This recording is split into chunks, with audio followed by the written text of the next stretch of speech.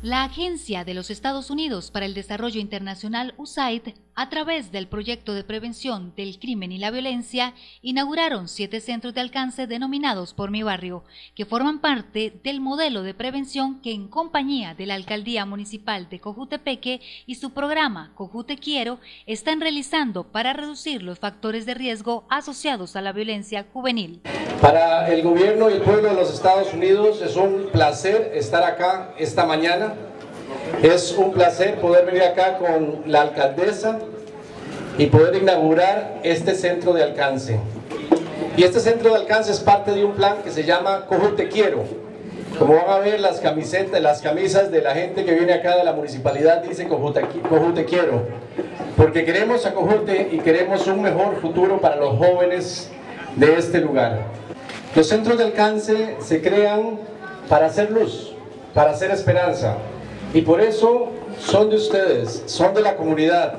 Con una inversión de 168 mil dólares, el proyecto de prevención del crimen y la violencia abrió los siete centros de alcance en la ciudad de Cojutepeque, bajo el plan de prevención de violencia juvenil denominado Cojute Quiero. Cujuapa, Jiñuco, San Antonio II, Vista el Lago, Cerro Las Pavas, Reparto Las Alamedas fueron los beneficiados de este plan de prevención, esperando que 23 mil jóvenes encuentren un lugar y se aparten de la violencia sea la Embajada de los Estados Unidos, tomó a bien que a Cujuapa solo son siete centros de alcance, que bueno, hubiera sido para todos los cantones, pero en este caso le tocó a Cujuapa. Entonces esperamos que le saquen el mayor provecho, precisamente nuestra juventud. Esa juventud que quizás no encuentra el lugar donde ir a descargar sus emociones, sus ideas, su arte, porque tienen mucha arte.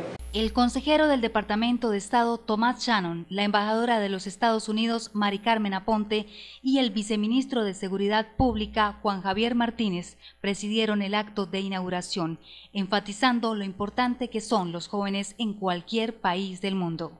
Estar aquí rodeada de niños y jóvenes de Cujutepeque, quienes tienen todo el potencial de convertirse en grandes personajes, tales como la pintora Julia Díaz y el poeta Rafael Cabrera.